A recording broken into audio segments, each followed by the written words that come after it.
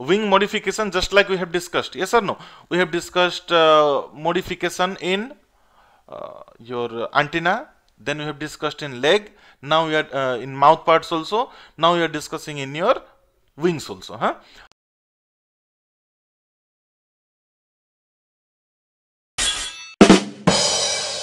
First one is tegmina. Four wings are leathery tough and darker in color they protect the membranous hind wing. You see this is the forewing of grasshopper, this is the hind wing of grasshopper. You see which is darker in color, forewing or hind wing? Forewing, sir. That is leathery, that is leathery in nature and they protect the inner hind wings but these are not useful for flight. You see the picture, this one, okay, this one you see, okay in case of your grasshopper in case of cockroach like this a cockroach what happens? These are leathery in nature okay? But these are not functional wings only they protect the inner hind wings. Clear up to this? What is tegmina clear? This yes, sir. yes sir. This is tegmina but this is known as membranous wings. This is known as membranous wings. Next you see elytra. Where you have discussed elytra you tell. Can anybody tell what is elytra we already have discussed in the practical.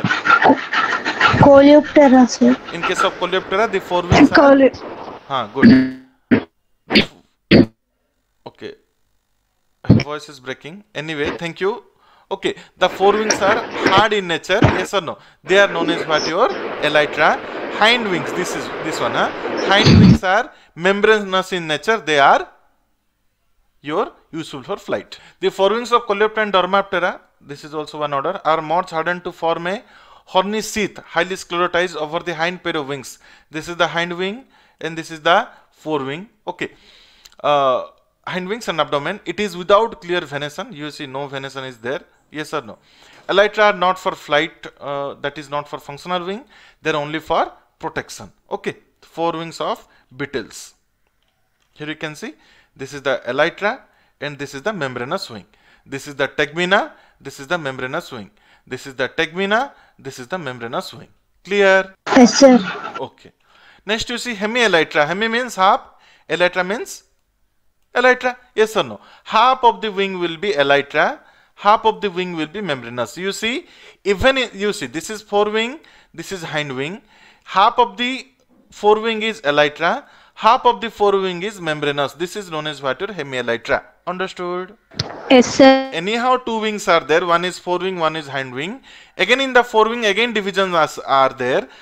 Uh, the towards the body axis, that is your elytra. Outward is your what? Membranous. This is known as what your hemielytra. Okay. Just once you read it, the base of the wing is thick like elytra, and the remaining half is membranous.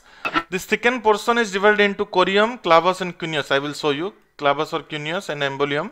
They are useful for protection and flight. Okay, forewings of your bugs. Example is forewings of your bugs. Okay, bugs means which order? Hemiptera, Okay, hemiptera, good. Huh? So you see this uh, particular, this is the forewing of hemiptera, wing of bugs. Okay, up to this that is elytra and this is your membranous. How it is divided? Embolium will be there, cuneus will be there, corium will be there, clavus will be there. Understood? Yes or no? Divided into embolium part, cuneus part, part, then your corium part and your clavus part. Clear? Yes or no? Yes, sir. You see, while writing in the exam, you may not remember corium, clavus and all, but at least you remember half of the forewing is elytra, half of the forewing is membranous. Uh, elytra is towards the body axis, and membranous is membra membranous is outwards. Yes or no? Membranous is outwards. That is what your hemelytra. That much you write sufficient. This embolium and all not uh, that much important for exam point of view. Membranous everywhere we have discussed hind wing of grasshopper, hind wing of uh, cockroach, hind wing of your uh, which one? What, next what we have discussed beetle, hind wing of bugs. Beetles. Everything, is your membranous only all the wings of your houseflies, all the wings of honeybees, huh, those are uh, all the wings of your dragonflies. Okay, they are all what your membranous wings. Clear? This one, huh? Okay. Next you see scaly wings. This is in case of Lepidoptera. Scaly means what? There what happens? Different type of scaly colorful uh, uh, structure will be there which provides color to the wings. Huh? Wings are thin, membranous but covered with unicellular scales all over the surface. That is known as scaly wings.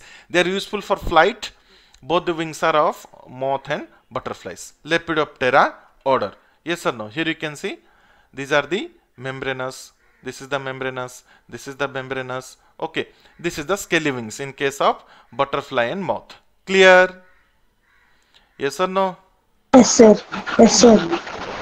Another one you see fringed wings. Wings are highly reduced. Here you see wings are highly reduced with fringes of hairs. Yes or no? Fringed with hairs. You see so many your hair like outgrowth is there. Yes or no? The wings are fringed with long marginal hairs giving a feather like appearance. Example both wings of thrips. We'll see in the next class what is a thrip. You see this is the thrip. This is the thrip. You see their wings. Reduced wing. Yes or no? Just like a stem it is looking. Yes or no? And it is fringed with wings. This is known as fringed wings. Example is which one? Example is Thrips. Thrips. Thrips is order is thrips belongs to which order? Thysanoptera, sir. Thyson. Thysanoptera. Okay. Next you see fissured wings, fork like wings. Yes or no? Four wings are longitudinally divided into twice. You see, this is the forewing divided into two halves. Yes or no? Huh? Okay. Next you see the hind wings are divided into three. One, two, three. Yes or no? Huh? Forewings are divided into two fork and the hind wings are divided into three fork. Whereas hind wings are divided twice into th three arms. Yes or no? Twice. Twice into three arms means what? First is divided into two. Last is independently divided. Understood this meaning? Yes or no? Hello. This meaning clear? Yes, sir. Hmm? You see, divided twice into three arm. Yes or no? First divided smallly, then two arm, then independently divided into three arms. Yes or no? That is the meaning of that. All the fork possess small marginal hair. You see, small marginal hairs will be there, and they are useful for flight. Both the wings of your plume moth. Huh? Example is moth. This one you remember. Okay. Next you see halter. Where halter is present? Where we have discussed? Where halter is present? Where we have discussed? Housefly, sir. Housefly. Which wing is modified? Forewing or hind wing? Hind wing, sir. Hind wings are modified. Very good. You see, here the forewing is there, and this is your hind wing.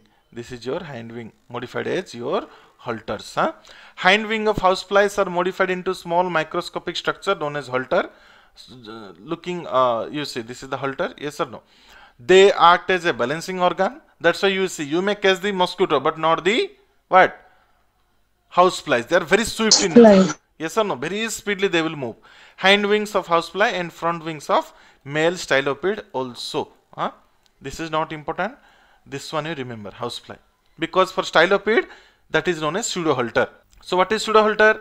In case of strepsiptera or stylopid, what is happening you see? In case of housefly, what happen? Hind wings are having the halter. But in case of your stylopid strepsiptera, forewings are modified into halter. Yes or no? Can you see? Forewings are modified into halter. That's why it is not known as pseudo uh, halter, but that is known as pseudo halter. Clear? When halters are present in strepsiptera in place of four wings, that is known as pseudo halter. Clearly understood or any doubt is there? अच्छा सुनो subscribe करते वक्त ना घंटी बजा देना ताकि जब मैं ऑनलाइन आऊँ तो तुम्हारे फ़ोन की भी घंटी बजे